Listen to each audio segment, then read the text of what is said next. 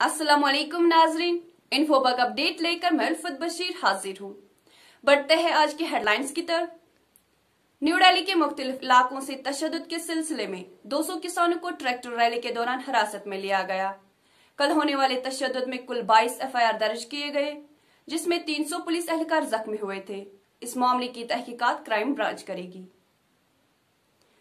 कुलगाम ज़िले के Srinagar national highway पर शमसीपोरा में स्कूल के अंदर लगाए गए आईडी ब्लास्ट में चार फौजी जवान जख्मी हुए, जिनमें से एक फौजी जवान अजजान हुआ। आईईडी ब्लास्ट से स्कूल बिल्डिंग को काफ़ी नुकसान पहुँचा, जबकि हमलावरों का पता लगाने के लिए सर्च ऑपरेशन शुरू की गई।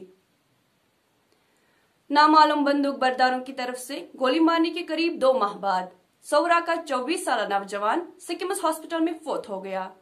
नौजवान की शनाख्त नादिफ खान सन ऑफ़ मोहम्मद हनीफ खान के तौर पर हुई, जबकि पुलिस इस मामले पर पहले ही केस दर्ज कर चुकी है। बढ़ते हैं अगली न्यूज़ की तरफ़। महबूबा मुफ्ती पार्टी वर्कर से बातचीत करने के लिए जम्मू पहुँच गई। आने वाले हफ़्ते में वो जम्मू के मुख्तलिफ़ इलाकों का दौरा करेगी। बुध के रोज हुकाम ने फौरी तौर पर दो एहलकारों को सस्पेंड कर दिया।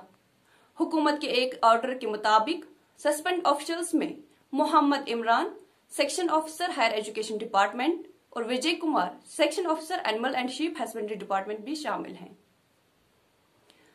वाणीपुरा पुलिस ने दो मंशियात फरोशों को गिरफ़्तार कर लिया।